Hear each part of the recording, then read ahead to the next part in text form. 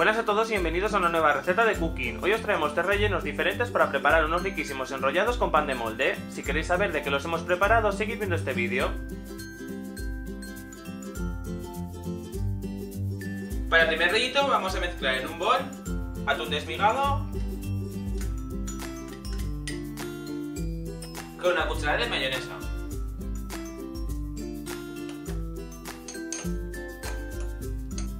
Ahora como veis hemos colocado una lámina de pan de molde al lado de otra y le hemos subido un poquito así para poder juntarlos. Lo chafaremos un poquito con los dedos y lo terminaremos de chafar un poquito más con un rodillo.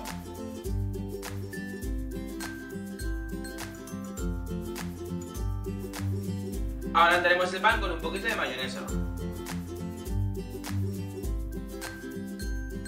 Cubriremos con unos piquillos que hemos comprado ya cocinados en lata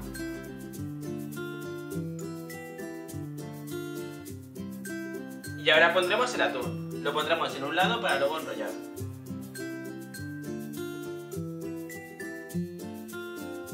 Y ahora ya poco a poco, con mucho cariño, le iremos dando la vuelta.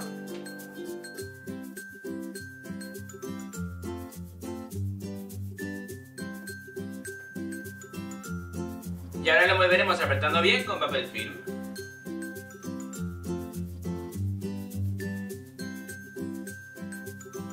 Lo meteremos en la nevera para que enfríe más o menos una hora. Para el segundo rellito vamos a mezclar la mayonesa con un poquito de cebollino. Si no tenéis cebollino podéis utilizar perejil. Le añadiremos también un poquito de pimienta molida.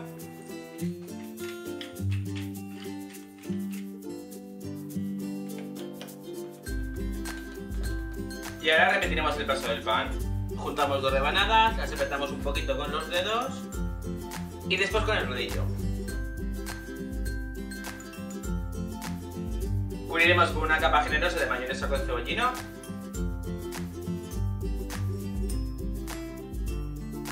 Encima colocaremos un par de lonchas de jamón cocido. Y encima colocaremos un par de espárragos blancos.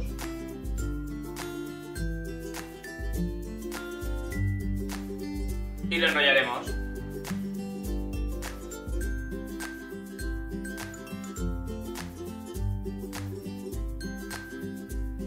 Igual que el anterior, lo enrollaremos y lo meteremos en la nevera. Y vamos ya con el tercer rollito. Vamos a comenzar haciendo una salsa rosa muy rápida, mezclando dos partes de mayonesa con un poquito de ketchup. Le pondremos también un poquito de pimienta.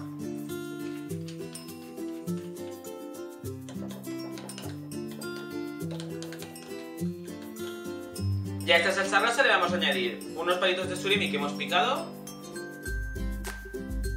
También podéis utilizar si queréis unas gambitas picadas. Y piña.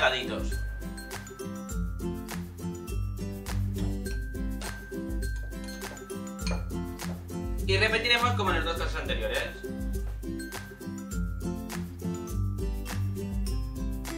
Una vez hemos tirado el pan colocaremos el relleno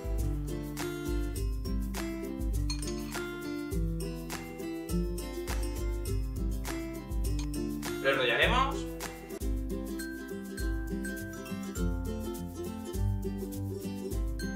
Lo envolveremos con el film y lo pondremos también en la nevera.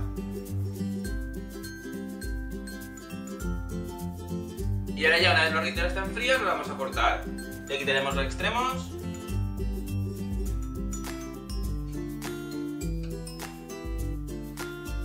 Y los partiremos en cuatro partes. Primero por la mitad.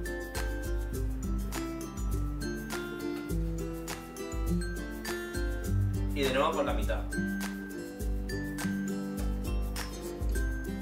Y así de ricos han quedado nuestros rollitos. Esperamos que os haya gustado esta receta y también esperamos que la hagáis en casa. Si te ha gustado la receta, dale al me gusta. Si te gusta el canal, suscríbete. Y si quieres seguirnos en nuestras redes sociales, te las dejamos en la cajita de descripción. Nos vemos en la siguiente receta.